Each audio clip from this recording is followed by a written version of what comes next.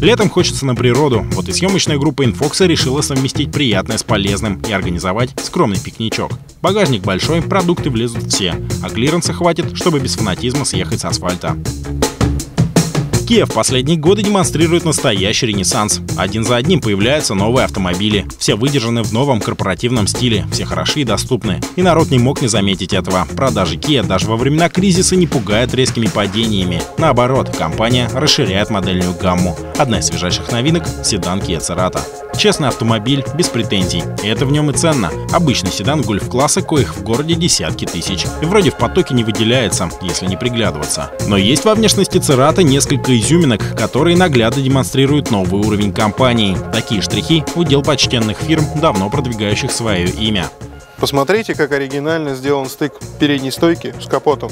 Даже итальянцы такого не изобрели. А тут Kia. Лаконичная светотехника, полный сбитый контур. Этот дизайн не устареет и через 3-4 года. За экстерьер уверенные 5 баллов.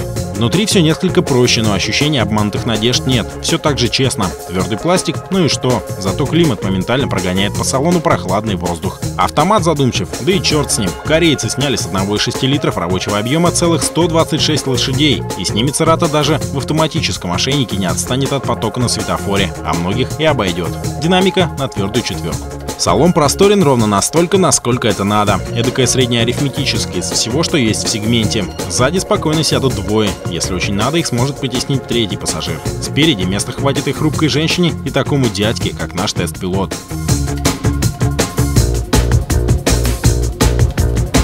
Нравится мне этот седан. Лежит душа к нему. Как его еще можно похвалить?